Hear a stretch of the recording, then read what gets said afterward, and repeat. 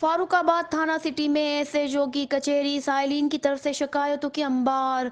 जराइम पेशा अफराद का मुकम्मल सफाया करके दम लेंगे। एस एच ओ महजिब माशरे में जराइम पेशा अफराद के लिए कोई जगह नहीं। कानून शिकन अनासर का सख्ती से मुहासिबा किया जाएगा। एस एच ओ का शहर की मजमू सूरत हाल पर तबादला ख्याल।